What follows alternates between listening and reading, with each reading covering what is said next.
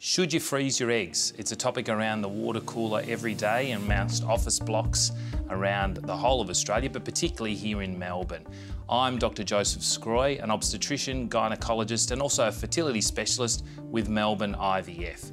A lot of women are contemplating freezing their eggs, and just like the contraceptive pill, it gives women an opportunity to control their fertility.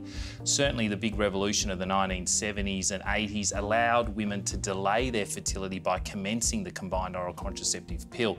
And nowadays, of course, the opportunity to freeze your eggs gives you the opportunity in the future to utilise those eggs in order to become pregnant. I always say to women, it's best to contemplate pregnancy when you're physically, financially, socially, emotionally, and medically ready to do so. And of course, with today's demands on your lifestyle, uh, there's obviously an element of delay in terms of when you're wanting to become pregnant. And that may be because you've not met the right partner, it might be because you're not in the right financial place, or alternatively, your career goals and ambitions are sort of allowing you to concentrate on that before you concentrate on family life.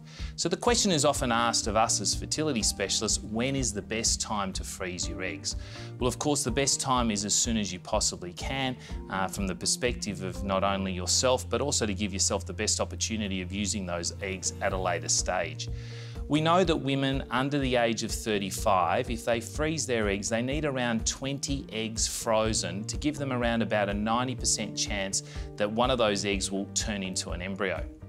And as a woman ages, of course, the quality of her eggs will diminish. And so we know that therefore you'll need more eggs in order to potentially give you that same opportunity. So at the age of 37, you'll need approximately 30 eggs. And by the time you're 38, you'll need 40 eggs. So certainly the opportunity to freeze your eggs should be considered before the age of 35. And it should be a decision that's made uh, because you're wanting, as I said before, to delay your, your, your fertility and, and give yourself an opportunity of utilising fertilising those eggs at another, at another point in time.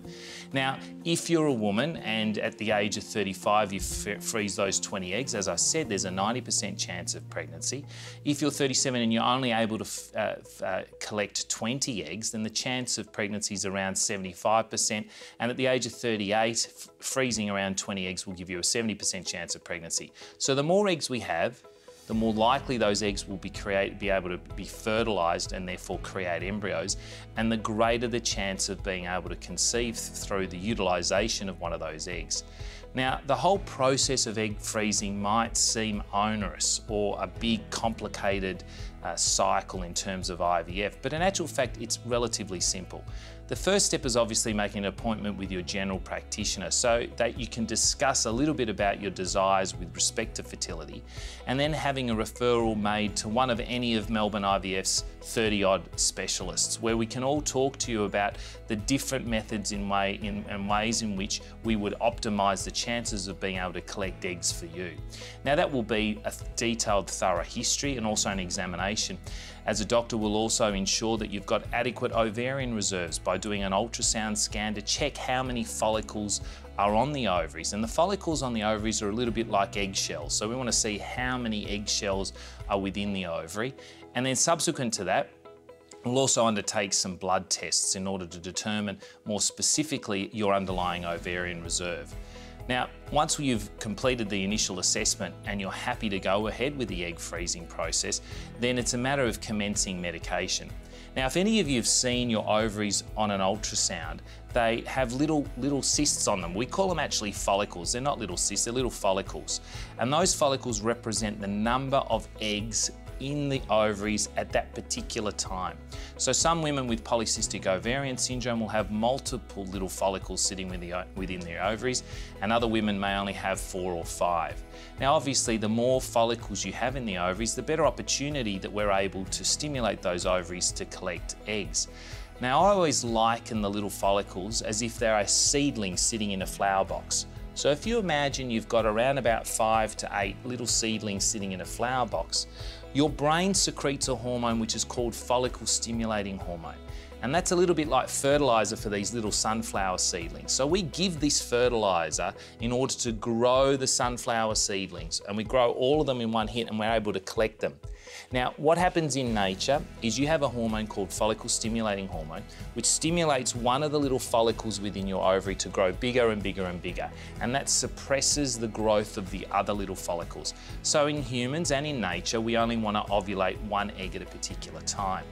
But when we're doing IVF or when we're doing the process of egg collection through an egg freeze, we're actually giving super physiological doses of FSH, which is almost like giving super doses of fertilizer and a hydroponic system for all those little sunflower seedlings.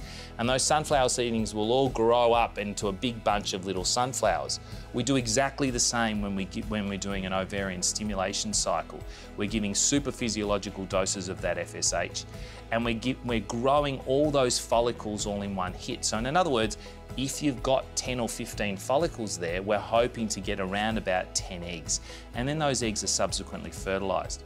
One of the biggest, biggest concerns women have is if we're removing those 10 follicles, does that mean that I'm going to reach menopause earlier? And the answer to that question is no. In actual fact, those follicles that we rescue effectively by giving the super fertilizer or the high doses of FSH, the, uh, the super physiological doses of FSH, were always destined to die. And the only way that the, the, the, what we've done is we've actually rescued them and been able to collect them and place them in an internal capsule by freezing them. Now, of course, once they're frozen, those eggs can be used at any point in time. In actual fact, can be used up until the age of 52. And, and then when you are ready then to become pregnant, what we'll do is we will thaw those eggs out.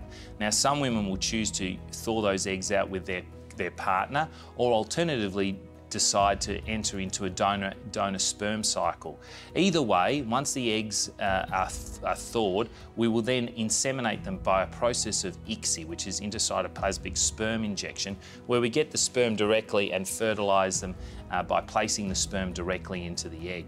And then we wait approximately five days until those eggs have developed into embryos and then subsequently become embryos suitable for a transfer into the uterus. Now, of course, the whole process of egg freezing really just stops at the time of collection. So when, when you commence your cycle through an egg stimulation cycle, what happens is you report when your first day of your period is. And then you're going to undertake a few injections that occur from day three of your menstrual cycle. They're very small injections that you inject underneath the skin in the tummy. And then over the course of the next 10 days or so, you'll have a series of ultrasound scans where us as fertility specialists will look how that follicle stimulating hormone, that super fertilizer for your ovaries, is growing those follicles.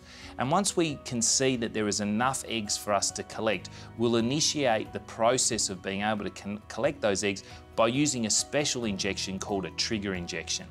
Some 40 hours later then, or 37 hours later then, you'll head into our uh, uh, East Melbourne uh, Day Surgery Centre where we go and collect those eggs. And the way that we do that is we do an internal ultrasound scan, much as the ultrasound scans that you'll have had done during your cycle, and we pass a fine needle from the vagina into the ovary to collect the eggs. It's a painless procedure. You're given some light sedation, and of course, at the end of the operation, you may experience just a little bit of cramping and, of course, some uh, blood loss, but that's about it.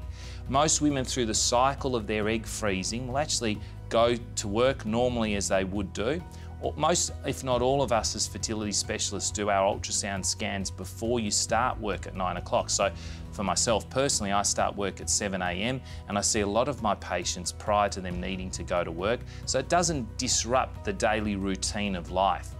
The only day really that you need off for the egg collection is the day of the egg collection. And so that's the day that you actually come into the hospital and have the anaesthetic. And on that particular day, it's a day to have an opportunity to really rest more than anything else once you've had the eggs collected. You'll need someone to look after you after you've had the anaesthetic so that, um, of course, um, you're monitored whilst you, have had a, a, a, some light sedation uh, after the anaesthetic that you've had at the East Melbourne Day Surgical Hospital. Then it's really important to reflect on how many eggs we've got. So every woman's is every woman is different and every woman's cycle is different. So in some cases, one cycle you may collect, uh, you know, six to 10 eggs, and in other cycles you may collect 10 to 15 eggs. Every woman is different and every woman's cycle is different. So Ultimately, that magical number of around 20 eggs for a woman less than the age of 35 is quite often achievable either through two or possibly three cycles of ovarian stimulation. And some women may be fortunate and be able to collect all those eggs in one batch. But nonetheless, once you've collected those eggs, then a refresher, another review with your fertility specialist is important to lay the foundations of whether you do need to have another stimulation cycle. And then it's a matter of just living life, doing everything that you're wanting to do until you're ready to contemplate pregnancy again and coming back and seeing us at Melbourne IVF to commence treatment and to continue your fertility journey. I hope you found that video really informative. If you want to see any more fertility topics, please hit the subscribe button below. Alternatively, leave your comments in the comments section. And more importantly, if you want to make an appointment with any one of our Melbourne IVF doctors, please visit our website